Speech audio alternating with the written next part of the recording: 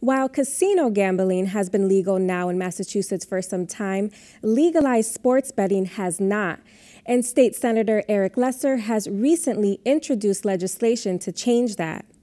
The Longmeadow Democrat has said that he thinks that the state has taken a cautious approach to sports betting and believes that the legislation, which would allow both in person and mobile betting, could generate significant revenue for the state. He spoke with me earlier today about his reasons for putting forth the bill. It would create a legal uh, betting market for sports wagering in Massachusetts. It would create uh, two different types of licenses a, a, brick and mortar license. So people would be able to go, for example, to their local casino or their local horse track uh, and place bets. It would also create a mobile licensing program. So people could use uh, online betting programs. For example, DraftKings and FanDuel are some of the most well known, uh, but there are a lot of other ones out there as well. And they could be able to place bets on their sports teams uh, through that means as well. You mentioned in your press conference that Massachusetts has taken a fairly cautious approach um, when it comes to this legislature. How so, and how does the bill um, reflect this approach? The Supreme Court uh, actually uh, opened the door to legal sports betting about three years ago, almost three years ago. Uh, they invalidated a federal prohibition uh, on sports betting that had been in place for several decades. Uh, what you saw was several states, in particular New Jersey, act very quickly after that Supreme Court decision. At this point, there's about 25 states that have some form uh, of legal wagering. Massachusetts uh, was not one of the first states to operate to, to move into legalization, and I think that was probably the right move for us because we've been able to learn a lot. Uh, we've been able to see what's worked and what hasn't in New Jersey, for example, and two of our neighboring states, New Hampshire and Rhode Island, also legalized recently. And we've been able to see, for example, some things that have worked well in New Hampshire and Rhode Island, and some things that also probably needed some improvement. In Governor Baker's budget that was released last month, he estimated that $35 million in revenue can possibly be generated through this bill. In addition to this added benefit, in what other ways could this bill impact the Commonwealth? Yeah, well, so first, you know, I think it's it's worth saying that uh, there's a lot of people that just this is fun. You know, this is a recreational activity.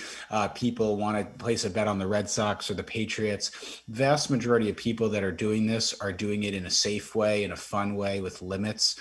Uh, but we do have cases, of course, of problem gambling. We do have cases of addiction uh, or people that are maybe getting in over their heads. So we really craft this law to be very careful to have very strict protections in place. So, for example, you would not be allowed to use a credit card, nobody under 21. There would be self exclusion limits, there would be reporting requirements so that if somebody is doing something in an addictive way or something feels off, the Gaming Commission would be able to quickly uh, intervene and stop that.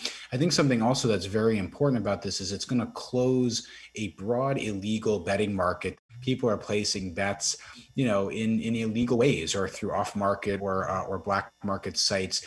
We would close those sites by doing this. We would bring this uh, practice kind of into the daylight and we would be able to collect revenue from it and make sure it's safe.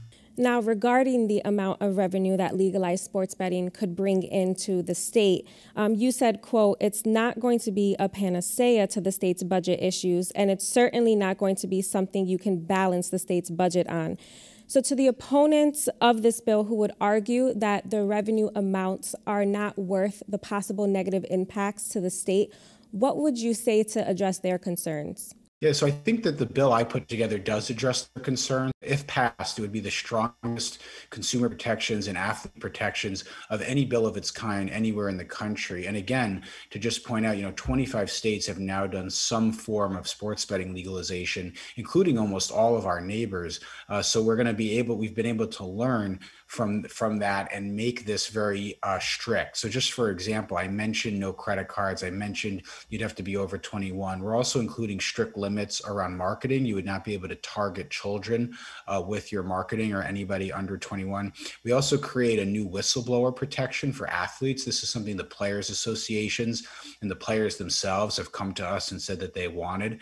So this would mean if a player or a coach or a family member wanted to report something uh, or wanted to tip off the gaming commission about activity that they thought was suspicious, they'd be able to do that while being protected. We also set up a hotline for people to call again players, coaches, staff members, fans, family members that they can call to get advice, to ask questions about what might be permitted and what might not be permitted. Now, other bills attempting to legalize sports betting have failed to pass in the state Senate before. How confident are you that this bill will pass?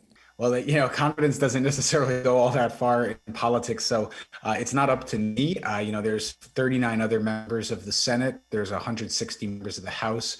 So a process is going to be uh, has already begun and will continue to move forward of talking to our colleagues and building support. I do think people are are coming to the realization and coming to the acknowledgement that this is the time to act on sports betting as we come out of the pandemic and hopefully start to move towards more normalcy. I do think an issue like this, sports betting, is going to be something that legislators will be able to focus on. So I do think that it's it's coming, uh, and I do think people are acknowledging that now is the time to get started.